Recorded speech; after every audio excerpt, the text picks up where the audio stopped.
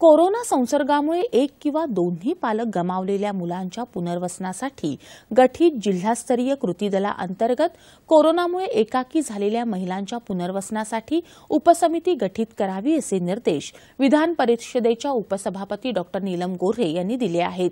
धुळे जिल्ह्याच्या दौऱ्यावर आल्या असताना त्यांनी काल कोरोना विषाणू मुक्त गावांचा आढावा घेतला आणि गावातल्या प्रतिनिधींशी संवाद साधला.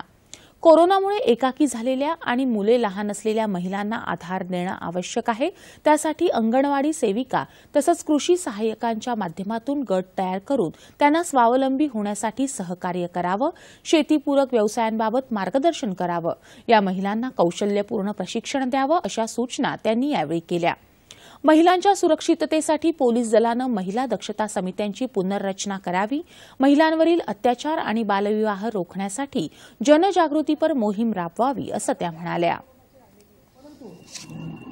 नंतर ही संख्या वाढू नये किंवा वाढण्याच्यासाठी काय कारणं असू शकतात ते समजून घेण्याच्या दृष्टिकोनातून आज एक निर्णय आजच्या बैठकीमध्ये आम्ही घेतला आणि तो त्या संदर्भामध्ये डॉक्टर सापळे यांची सूचना होती की जी गावं कोरोनामुक्त झालेली आहेत त्या गावांमध्ये अँटीबॉडीजचं टेस्टिंग करावं.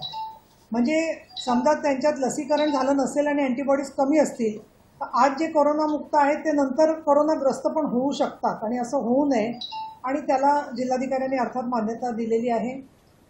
पालकमंत्र्यांशी माझं बोलणं झालेलं आहे. ज्या ज्या आजच्या बैठकीमध्ये सूचना येतील त्या सूचनांचं आम्ही लवकरच बैठक घेऊन त्या सगळ्याला त्याला त्याच्यावरती अजून त्यांच्या वतीने शिक्कामोर्तब होणारच आहे.